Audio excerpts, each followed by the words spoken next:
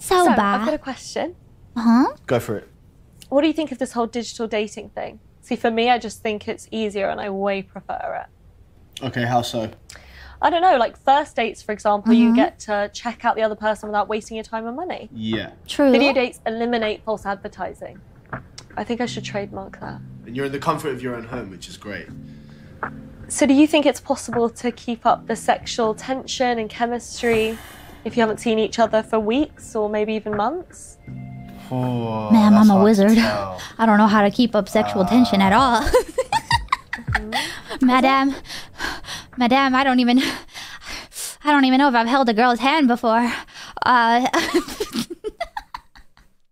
hmm You know, we're gonna say yes so we can make her feel. You know, she's probably, she's probably just like, she's probably, probably like.